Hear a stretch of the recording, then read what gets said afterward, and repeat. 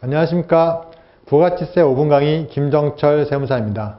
오늘은 매입세 불공제란 어떤 것이 있는지에 대해서 살펴보겠습니다. 매입세 불공제란 어, 말 그대로 매입세액을 안입을 공제하지 않겠다라는 뜻인데요.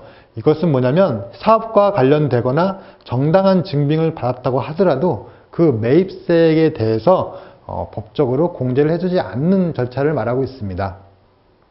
그 그런 것이 어떤 거가 있는지를 좀 한번 살펴보면요. 어, 부가가치세 제 질서를 유지하기 위해서 매입세 공제를 안 해주는 경우들인데요. 기본적으로 세금 계산서를 받아야 되는데 받지 않은 매입세 또는 세금연서를 받았는데 부실하게 작성되어 있는 어, 세금연서라고 하면 매입세 공제를 해주지 않는다는 거고요.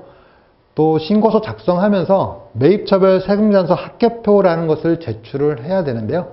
그것을 제출하지 않거나 또는 부실하게 기재를 해서 제대로 알아볼 수 없게 작성이 되어 있다고 하면 그런 것들에 대해서는 매입세 공제를 해주지 않고 있고요.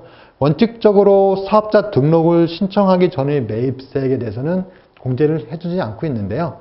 대신 과세기간이 끝나고 나서 20일 내에 사업자 등록 신청을 하면 그 전에 매입했던 거에 대해서는 매입세 공제를 해주는 어, 그렇게 절차를 해주고 있긴 합니다. 예를 들면 6월 말까지 사업자 등록증을 내진 않았는데 사업은 이제 개시하고 있거나 어, 물건을 샀을 경우에 7월 20일까지 사업자 등록증을 낸다고 하면 상반기에 받았던 매입세액에 대해서 공제는 해주는 그런 제도는 두고 있습니다. 또 다른 목적은 조세 정책적인 목적에 의해서 매입세 공제를 안 해주고 있는데요. 접대비, 어, 좀 약간 유흥과 관련된 접대비들이 워낙 많았기 때문에 접대비와 관련된 비용에 대해서는 매입세 공제를 해주지 않고 있고요.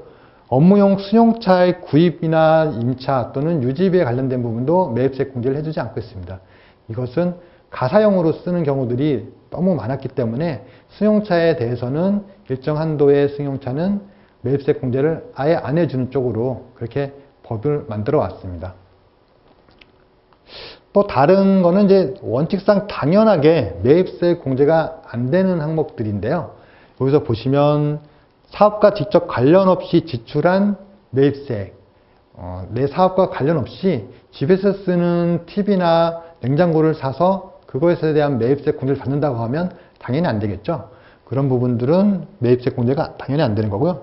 또 면세 사업을 하시는 분들은 내가 팔때 어, 부가가치세를 부담하지 않기 때문에 어, 소비자들이 내지 않는 부가세는 부담하지 않기 때문에 당연히 매입세액에 대해서도 면세 사업자들에서는 음, 환급이나 공제를 해주지 않고 있고요.